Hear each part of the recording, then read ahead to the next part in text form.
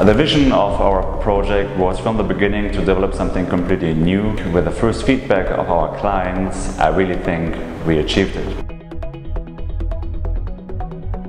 We have amenities like never built in Tulum before, a luxury three-story gym with a climbing wall, spa with water features, with a Temascal. In the middle of Central Park you're going to find the most advanced solar system in the world. The apartments itself are spectacular. We have the biggest studios on the market with 42 square meters. We have huge penthouses with 335 square meters.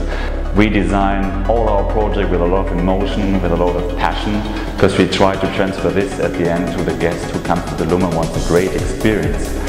Same type of service you're going to find in a five-star hotel, you're going to find in Central Park. And we have a high quality, high talented team inside of this company and we believe deeply that this makes a huge difference in our performance here in Tulum.